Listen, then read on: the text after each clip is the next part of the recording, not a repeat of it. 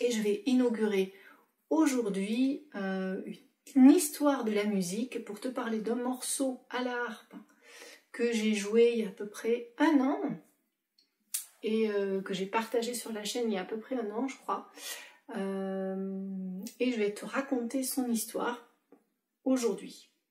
En attendant, n'oublie pas de t'abonner à la chaîne si tu ne veux rater aucune de mes vidéos et de cliquer sur la cloche pour recevoir les notifications quand elles paraissent et de liker euh, pour euh, bah, tout simplement m'encourager euh, et me faire savoir que ce que je fais t'apporte des réponses, du plaisir, etc. et embellit ton quotidien. Voilà. Ceci étant dit, je passe au vif du sujet. je fais cette vidéo parce que, eh bien, pour moi, c'est un morceau assez connu. donc, je parle du morceau Brian Boru, j'espère que je le prononce bien. Euh, et en fait, je crois qu'il est connu euh, essentiellement des harpistes, mais pas forcément du grand public, comme me l'a fait savoir euh, mon ami Jérôme, qui m'a dit ben moi je le connais pas du tout. Alors j'ai décidé du coup de faire une vidéo pour vous raconter un petit peu son histoire, parce que ce que j'aime beaucoup moi dans le chant irlandais, la musique irlandaise, c'est justement le folklore et le background qu'il y a derrière. Euh, toutes ces histoires. Voilà, chaque chanson a, une histoire particulière et, euh, c'est ce qui aide d'ailleurs euh, dans l'interprétation du morceau et qui en fait toute la couleur, toute la, richesse.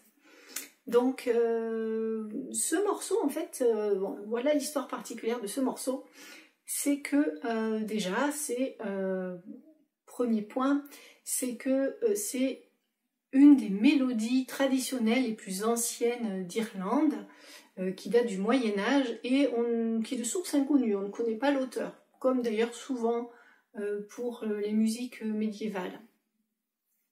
Mais en plus, elle a une histoire particulière parce qu'elle est rattachée à un personnage qui est le roi, le roi Brian Boru, euh, pour les funérailles duquel elle aurait été euh, écrite.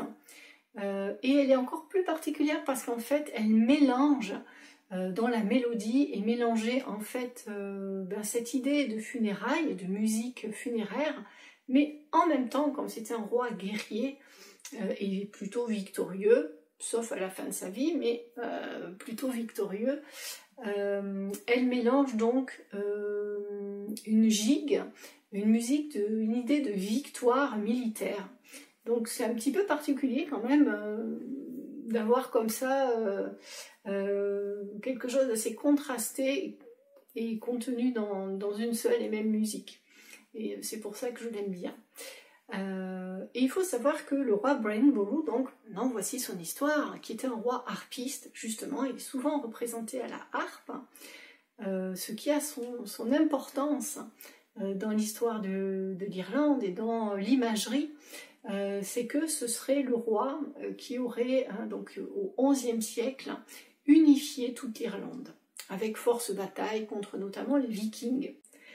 Brian Boru aurait été tué lors de la bataille de Clontarf le 23 avril 1014 par ses opposants. Et euh, la légende raconte que euh, sa harpe aurait été conservée jusqu'à nos jours au Trinity College.